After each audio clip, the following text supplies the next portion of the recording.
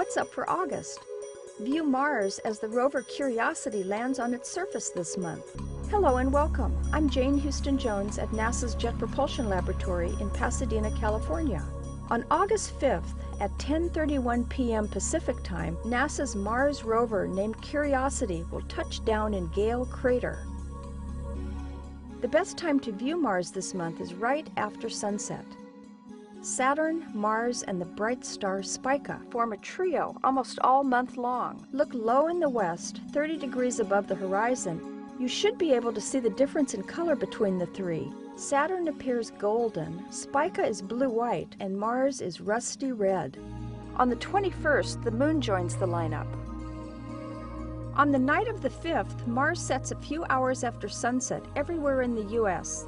You can find a Mars viewing party on this night by checking with your local planetarium, science center, or astronomy club.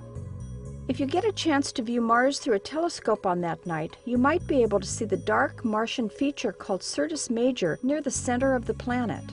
Although you can't see Gale Crater, Curiosity's landing site, through the telescope, it's near the limb to the east of Syrtis Major that night.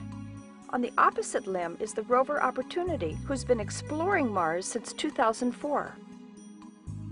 The most popular meteor shower of the year, the Perseids, peaks on a summer weekend, Saturday night through Sunday morning, August 11th and 12th. The constellation Perseus rises in the northeast soon after sunset. Just follow the Milky Way from the south to the north to find it. You'll see dozens of fast, bright meteors, some leaving persistent trains or smoky trails.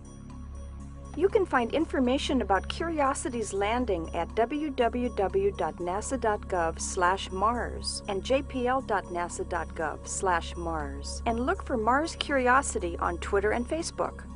You can learn about all of NASA's missions at www.nasa.gov. That's all for this month. I'm Jane Houston Jones.